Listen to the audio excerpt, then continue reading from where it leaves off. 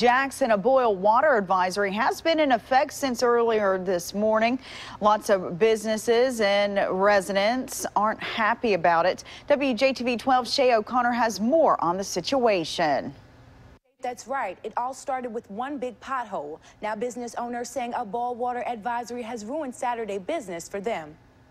Drive through the Fondren area, hit a pothole, and you feel aggravation. But Saturday, it wasn't just cars that felt the impact. According to city workers, they had to turn off water in the area to fix a water valve inside of this pothole.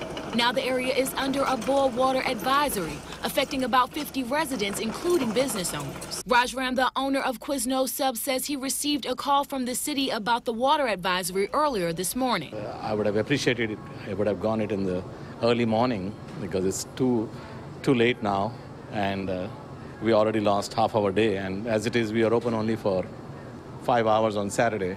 Mr. Ram says as a result of the boil water advisory, customers cannot drink from the drink machine at his business, and his staff has to use bottled water. But he says, unfortunately, this is something Fondren businesses experience much too often. I mean, this has been going on, on and off for the last two years, you know. And in last one year itself, I must have lost three, four days just because of water.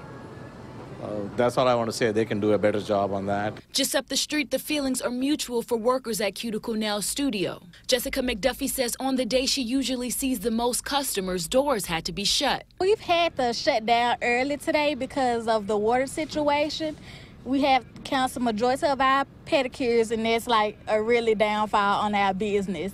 It really kind of hurts the business.